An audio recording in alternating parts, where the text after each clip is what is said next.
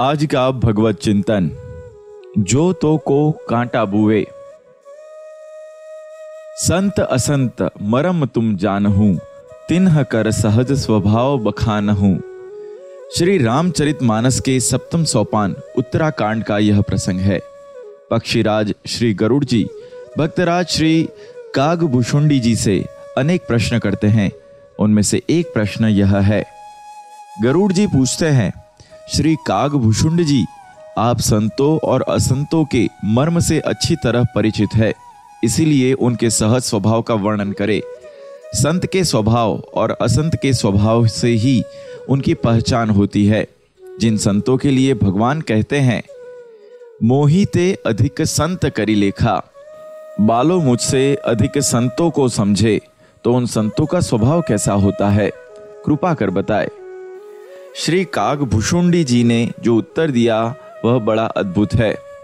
संत असंत के असी करनी, जिमी कुठार चंदन आचरनी, काटे तासु मलय सुनु भाई, निज दे सुगंध बसाई। ताते सुर सिंसन चढ़त जगुबल्लभ श्रीखंड, अनल दाही पिटत भनही, परसु बदन यह दंड। बड़ा सुंदर उत्तर दिया। इसमें कहा गया है कि श्री गरुड़ जी संतों और असंतों का सहज स्वभाव ऐसे समझो, जैसे चंदन का वृक्ष और लोहे का शस्त्र फरसा। अब किसी ने फरसा चलाया और बंधन कटने लगा। फरसे ने चंदन के वृक्ष को काट दिया।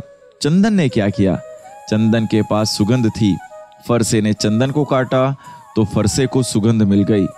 चंदन ने कटकर भी अपनी सुगंध फरसे को दी। इसका अर्थ क्या है? कहा संत वह है जो अपना विरोध करने वाले को भी अपने सत्संग की सुगंध देता है। अपना विरोध करने वाले को भी जो अपनी सुगंध दे, वह संत और असंत कौन है? बोले, जो अपने को सुगंध दे, उसी को काटने की प्रक्रिया जो करे, वह असंत।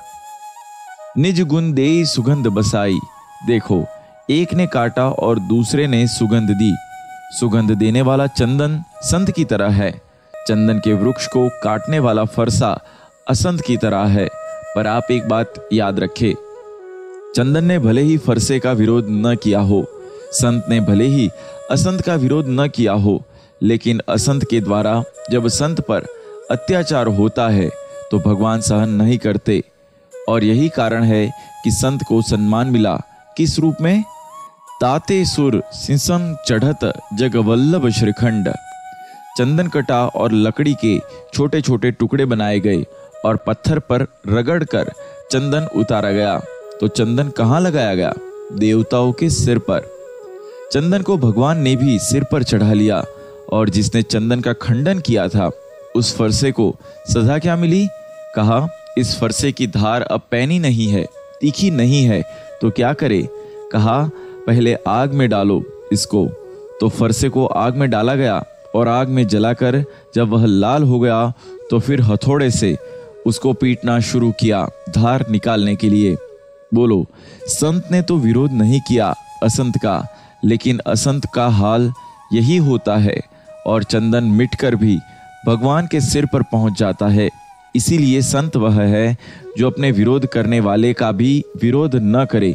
इसीलिए संत कबीर कहते हैं जो तो को कांटा बुवे ताही बोऊ तो फूल तो को फूल के फूल है वा को है त्रिशूल। श्री कबीरदास जी कहते हैं, जो तुम्हारे मार्ग में कांटा बोए, तुम उसके लिए फूल बो। जो तुम्हें कांटे की चुभन दे, तुम उसे फूल की सुगंध दो। परिणाम क्या होगा? जो तुमने बोया है, वह तुम्हें मिलेगा। तुमने फूल बोए हैं तो तुम्हें फूल मिलेंगे। उसने कांटे बोए हैं तो उसे कांटे मिलेंगे। तो को फूल के फूल है, वाको है त्रिशूल।